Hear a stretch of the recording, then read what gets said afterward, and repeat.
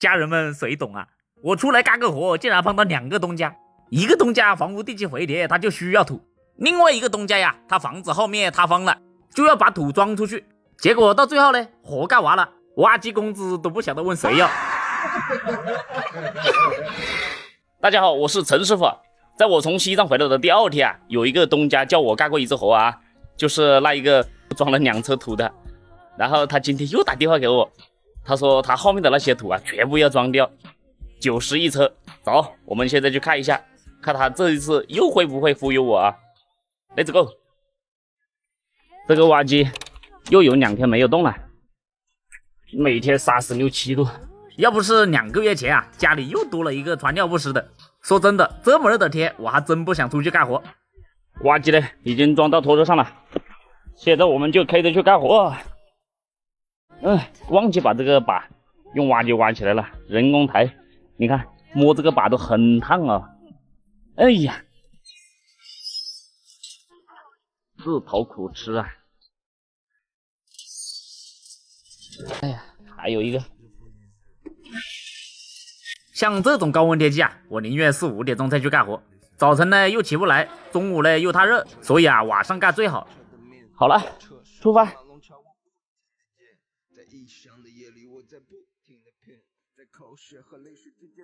车子呢已经早就来了啊。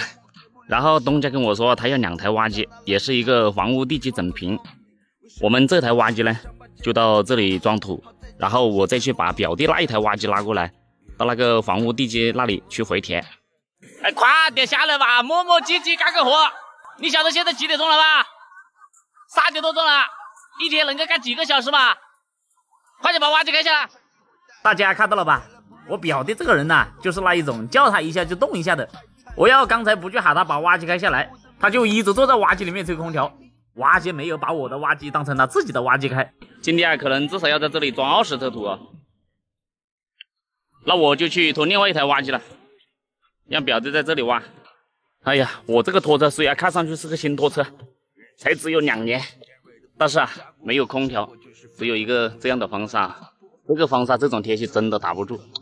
哎呀，没办法了啊，先将就嘛。我们现在到了这台挖机这里啊，我们要赶紧把这台挖机开上拖车，因为那边表弟已经在装车了，要赶紧去拔土才行。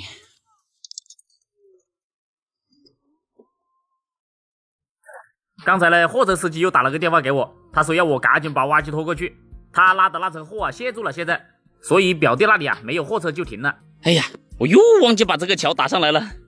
哎，我每天在想些什么不晓得。哎，又要拔。唉，唉，啊，这个是自讨苦吃啊。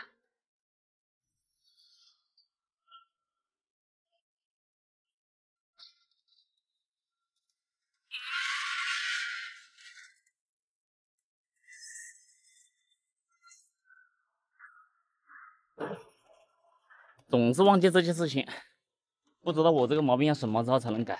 好多人说没有看过我家的全景，你们看啊，这个就是我家啊，看到没有？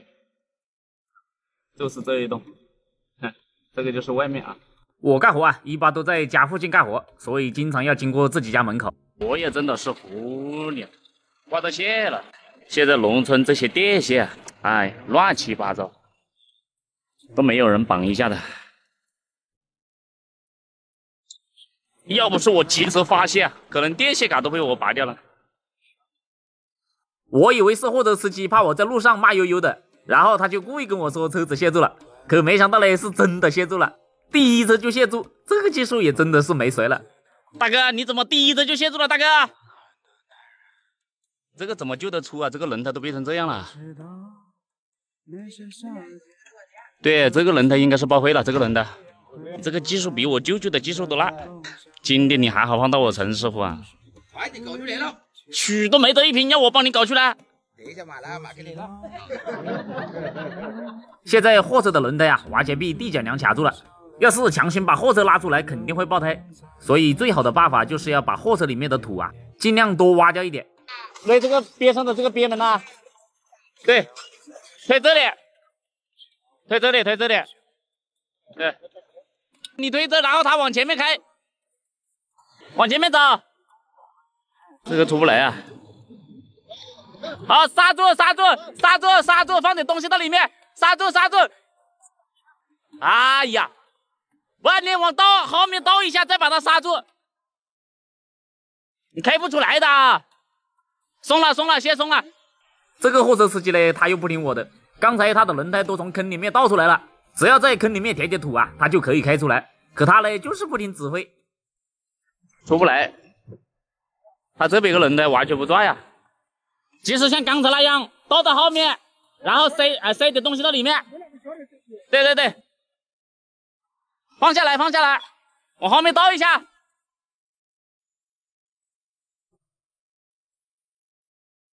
哦，出来了，可以。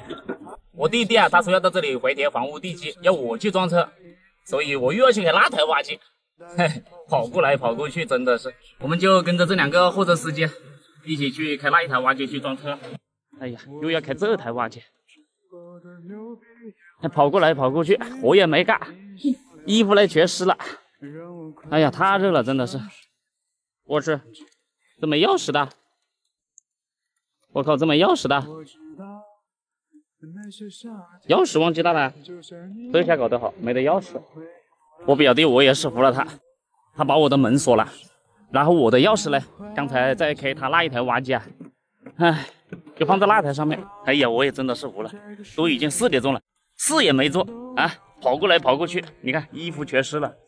我已经叫我的一个兄弟帮我去拿钥匙去了，到表弟那里，等他等他把钥匙拿过来。哎呀，钥匙啊！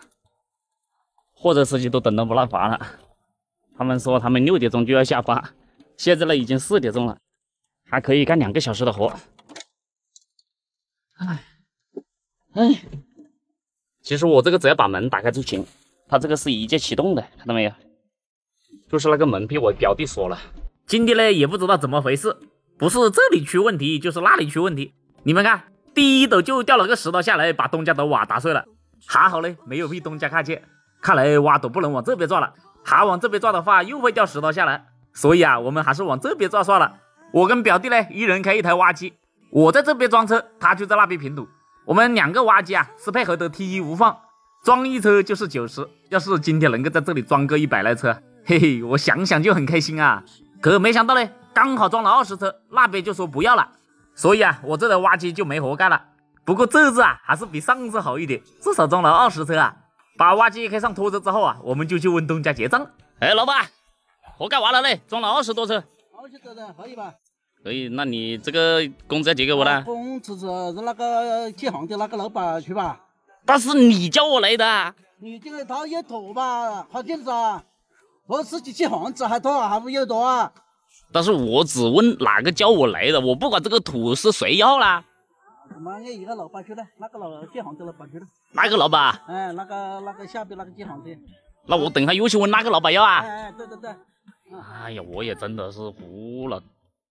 哎呀，感觉又被他坑了。哎，又没结到账。我把这台挖机送到家里面去之后啊，然后我就开着拖车去了表弟那里。表弟这边就是把我刚才装过来的土啊，全部挖到房屋地基里面。你们看这个房屋地基啊，一看地脚梁就知道，以后这个房子建起来肯定漂亮。